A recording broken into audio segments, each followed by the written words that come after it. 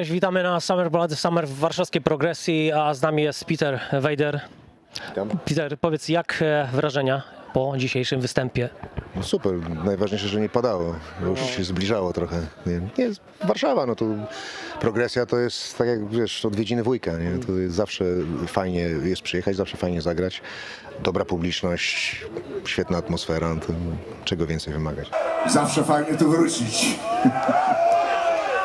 Koniec lata, jeszcze udało się spotkać. Wielki szacun, dzięki wam, że znaleźliście tą chwilkę czasu, żeby razem jeszcze ponapierdalać trochę tego lata. Nie? Na Wejder chyba już przychodzi któreś pokolenie, nie? Już czwarte może.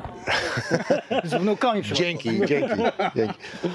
E, No, w przyszłym roku e, będzie 40 lat, e, jak Wejder istnieje, więc no, troszkę żeśmy jakby pracowali na te pokolenia kolejne.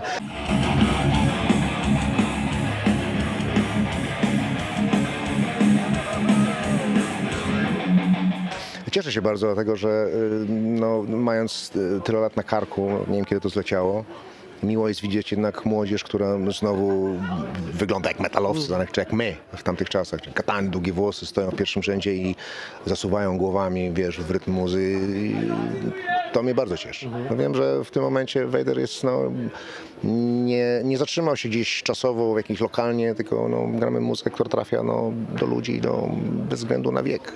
To jest dobra. To Ale jest dobrze, że jeszcze, nagroda. dobrze, że ta młodzież jeszcze jest, która y, słucha tej muzyki, nie? Bo wiadomo, e, w tych czasach no, ludzie słuchają jakiegoś tam hip-hopu, rapu i tak dalej, a jednak ci metalowcy są, przetrwali, nie?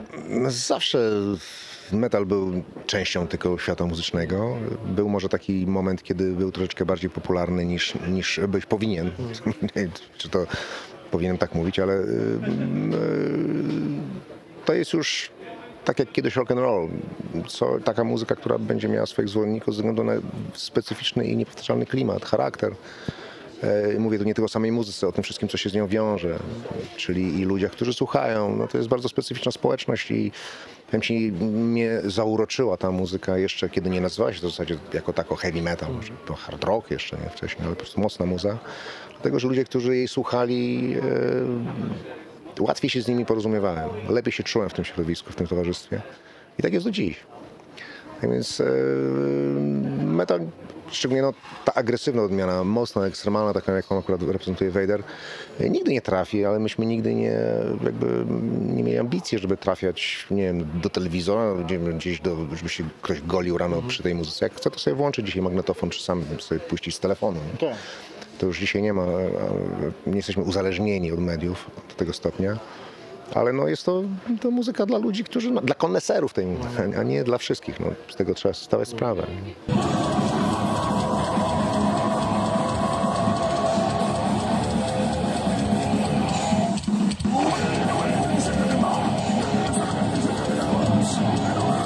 Że nie masz dosyć tych tras ciągle po świecie, obijania się w tych busach, tych hotelach. Jak wy w ogóle wytrzymujecie ze sobą w autokarze tylu chłopa na raz? Nie wytrzymujemy. znaczy to, do tego można się przyzwyczaić. To, sprawa jest bardzo prosta. Kto się nie przyzwyczaił, to po prostu nie gra. No. Nie gra w zespole, nie gra tej muzyki, bo dla mnie metal to jest scena. To jest głównie granie na żywo. Płyty nagrywam, żeby mieć co- coś nowego do grania, żeby nie trzepać ciągle tych samych utworów. E, Ale generalnie to jest, to jest scena i, i, i to jest żywioł. Nie? Także tu się nic nie zmienia. Przynajmniej dla mnie.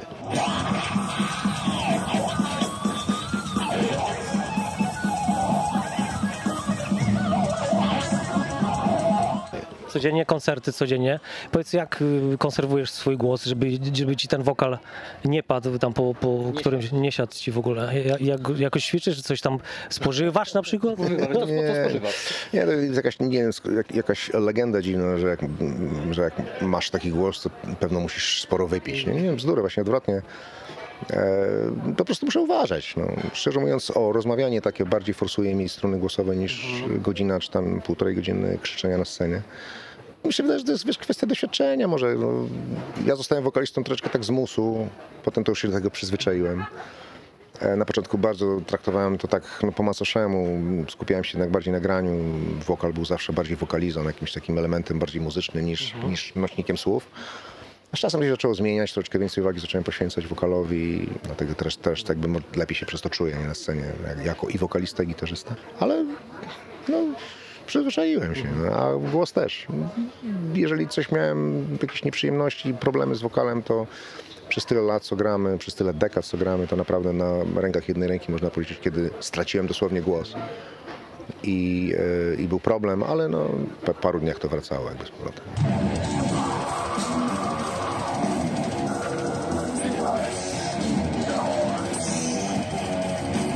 Pizer, powiedz, z- zdementuj, która nazwa jest prawidłowa, bo niektórzy mówią Wader, niektórzy Vader. Metalika czy metalika? To jest na tej samej zasadzie. Wader jest po prostu po polsku wymawianym słowem, a, a Vader jest, angielskim. Także tylko ta różnica.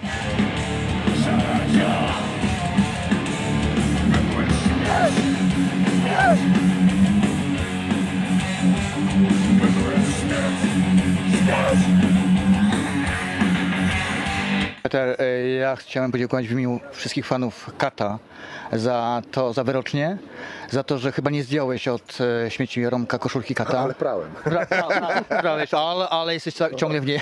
A nie, już No, zdjąłeś, tak. suszy się właśnie. Słyszycie, że e, w taki sposób e, cześć Romka na każdym koncercie swoim podtrzymujesz. Słuchaj, chciałem zapytać cię o, taką, o, o ten koncert, no ostatni chyba, Welcome to Hell we Wrocławiu. Pytam Titusa, czy miał okazję z Romkiem pogadać.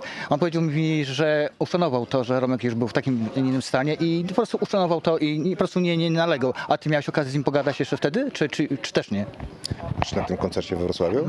Tak, no jak oczywiście, żeśmy chwilkę pogadali. To, to, był bardzo ciężki dzień dla niego dla zespołu, bo były godziny prób, cały w ogóle dzień, kiedy było nagrywane, ja byłem pełen podziwu, bo no, sam jakby jestem doświadczony, jeżeli chodzi o wylewanie potu na scenie i, i męczenie jakby się fizycznie w czasie dnia, ale to, co oni robili w ciągu tego dnia, ile godzin prób i grania i, i Romek, który temu wszystkiemu podołał no to pod wrażeniem. Także no, podobnie, no, na pewno nie chciałem ani ani nikt męczyć go. Żeby miał odpocząć, to był jego dzień i e, ten, ten szacunek, respekt, spokój mu się należał absolutnie. Ale z Romkiem za to mieliśmy okazję wcześniej na różnych imprezach wszelkiego rodzaju sobie porozmawiać, czy podyskutować po koncercie. Także no, zresztą to mój respekt dla tego człowieka i zespołu jest od lat. Pierwszego e, Jarocina w 85 roku, widziałem. Także potem, e, potem parę razy żeśmy się na scenach mijali, spotykali. Chociaż tak naprawdę poznaliśmy się znacznie później, kiedy już Vader jakby osiągnął pewną pozycję i mieliśmy większą szansę, żeby jakby ze sobą porozmawiać, a nie tylko gdzieś tam cześć, cześć na scenie mignąć. Nie? Także no szkoda, no ale pozostawił po sobie no, niewątpliwie no, potężną muzykę i jak zresztą widać e, dla Polaków w polskich sercach, sercach to już będzie człowiek, który pozostanie tak jak, jak Czesław Niemen dla, dla, dla ludzi, którzy e, przed metalem jeszcze słuchali i tak, tego jestem pewien. To jest, no to jest symbol, po prostu ikona nie? naszego, to jest nasz Ozzy Osbourne, można powiedzieć taki.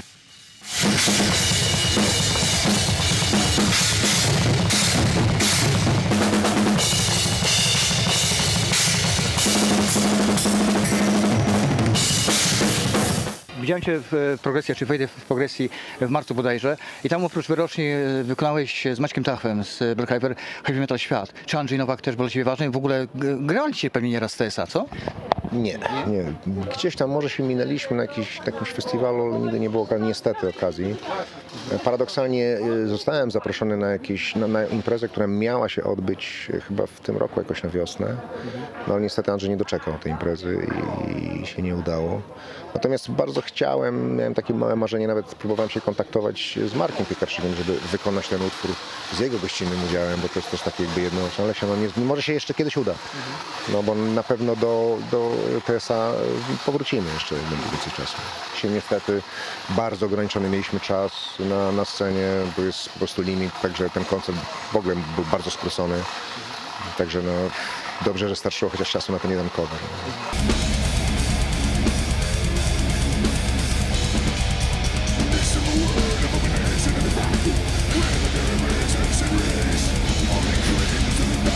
E, chciałbym Cię pozdrowić od e, metalowego Białegostoku.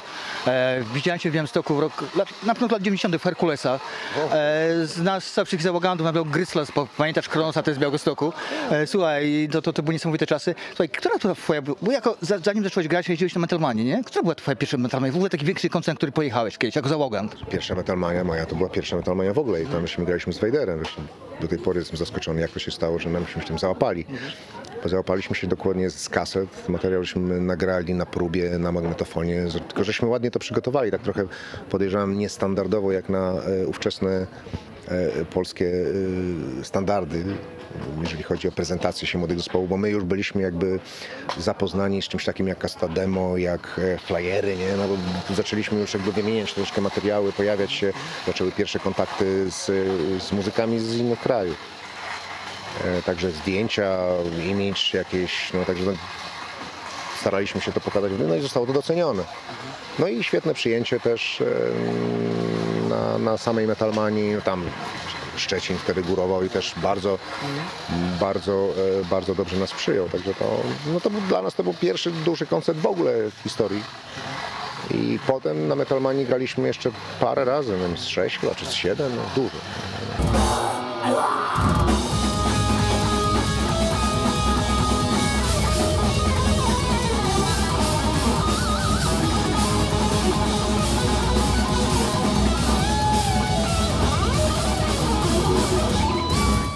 Płyty, e, czyli Ultimate Touch oczywiście wersja nagrana, czy ty poczułeś wtedy, kiedy, e, kiedy Dark Age pojawił się na MTV, że wy na zachodzie w Stanach osiągniecie sukces, czy, czy to było później znacznie, po Dark Age jeszcze?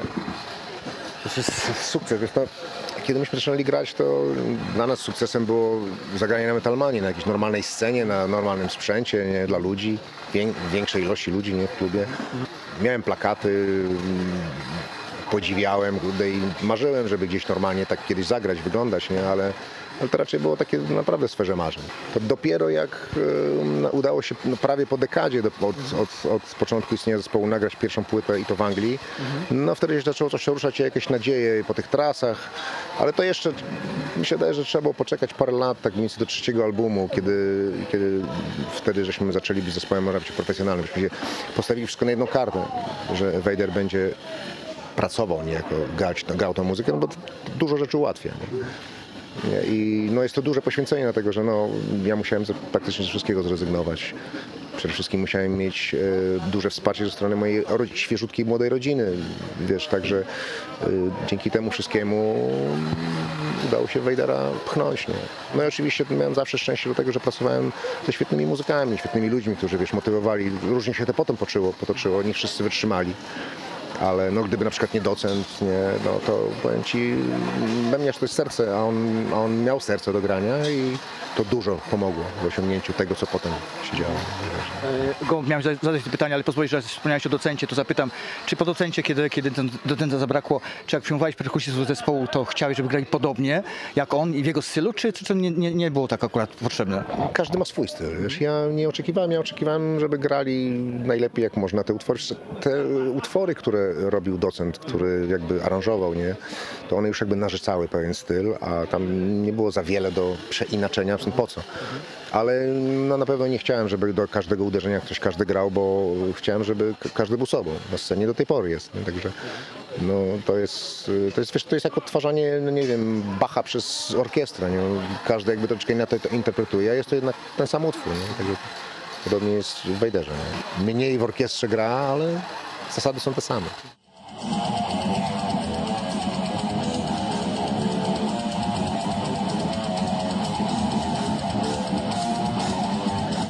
Peter, e, co ty myślisz o na przykład płycie akustycznej Wejdera? Byłaby taka możliwość? No, no, no, pewno tak, ale bez sensu. Em, My nie mamy piosenek, które można byłoby przeinterpretować wiesz, do grania przy ognisku.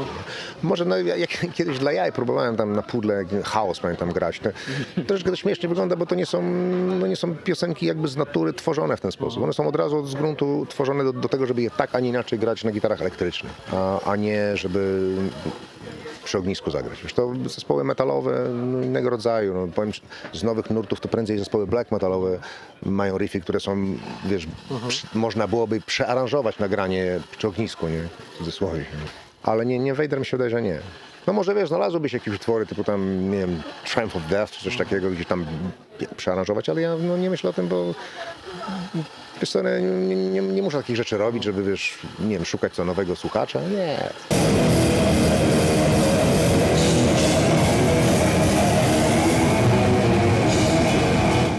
Spośród, e, nie wiem, Behemoth, e, Vader, Hate i Riverside, gdzie zespoły e, Decapitated, gdzie jeździcie po całym świecie, czy widzisz z polskich kapel jakieś inne, które by dołączyły do was w tym momencie? Znaczy, no, no, wiesz, co, ja tego nie określam w taki sposób. No, zespół, jeżeli gra, to znaczy, że na to zasługuje, no, że ma odbiór, ma fanów i, i gra. Nie? Takich zespołów z Polski jest sporo. E, Polska ma swoją specyficzną scenę, nie jest to scena jednolita, taka jak, wiesz, jak, jak była scena na przykład Florydy czy scena szwedzka. Tam te zespoły grają po prostu bardzo podobnie w sensie, w sensie brzmieniowym czy stylistycznym. Nie? Polska jest różnorodna i to jest jakby charakterystyczna rzecz. No, te zespoły, które wymieniłeś, Vader, Behemoth, Mgła, Decapitated, każdy gra inaczej. Nie? I to, a jednocześnie wiesz, czymś sobie zaskarbił y, uznanie fanów na całym świecie. Nie? Także No tylko się cieszyć z tego powodu. Nie? Nie przestaliśmy być jakimś wiesz, zaściankiem, tylko gramy normalnie muzykę, już się nie określa ludzi na zasadzie, że ci to z Polski to nie potrafią. Chociaż na początku jak myśmy grali, to takie miałem wrażenie, że ludzie troszeczkę nie ufali, nie, nie znali, nie? ale bardzo szybko ich przekonaliśmy do, do zmiany zdania.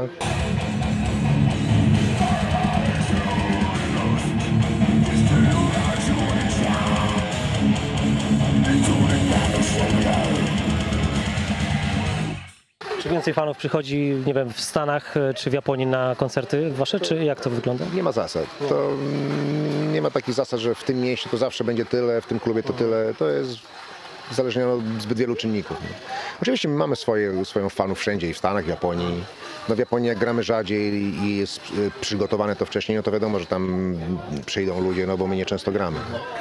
Ale kiedy pamiętam swego czasu graliśmy w Stanach częściej, no to to już trasy były gęste. No to graliśmy w mniejszych klubach i w większych, różnie to bywało. nie? Ale tymi trasami żeśmy z kolei zyskali sobie no, pewną popularność w świecie.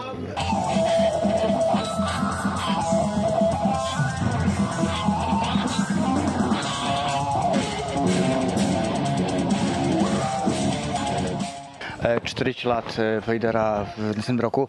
Jakie będzie następne 40 lat Vadera na, na, na polskiej scenie? W jaki sposób ewoluuje e, muzyka Vader? Ty tak, znaczy Vader tak między trash, dead. W jaki sposób pójdziecie? E, masz coś, co, co ci po głowie chodzi? Masz jakieś pomysły nowe? Czy, czy, czy to, to będzie dalej, będzie grać? Pomysły są zawsze, tylko że wiesz co, no, ostatnio tyle różnych tych jubileuszy się pojawia Vadera, zresztą The Profundis, teraz The Black to the Blind, że no, ludzie, kolejne nowe pokolenia chcą też słuchać e, tego starszego, więc ja nie silę się tak na mocno, żeby, żeby ciągle coś nowego grać. Nie? Na pewno, na pewno nie będziemy tak nagrywać, jak to było w pierwszym dziesięcioleciu czy coś, że, że płyty naprawdę dość często że praktycznie co roku coś było, jak nie duża płyta, to mała płyta, jakaś koncert czy coś. E, No, poza tym teraz jest internet, jest YouTube, są ten, także już nie trzeba nagrywać ani jakichś tam kaset wideo, jak chcesz przedstawić zespół czy coś. Poza tym mówię, wolę zachęcać ludzi do przychodzenia na koncert na żywo, a nie, nie oglądać wiesz, przez kamerkę malutką. No, no, nie, nie mam planu takiego da- dalekosiężnego, że będę wiedział, co będę robił na kolejnej płycie czy coś. Nie, bo to jest spontaniczne, wiesz, to wszystko zależy od tego, co się będzie działo wokół. Nie? Wszystkiego dobrego życzymy, jak najwięcej koncertów, rozwalania wszystkich scen na świecie. Jak, jak, robicie, to na, jak robicie to od tylu lat. I wszystkiego dobrego, zdrówka i wszystkiego dobrego. Dziękuję bardzo. Dzięki. Pozdrawiam.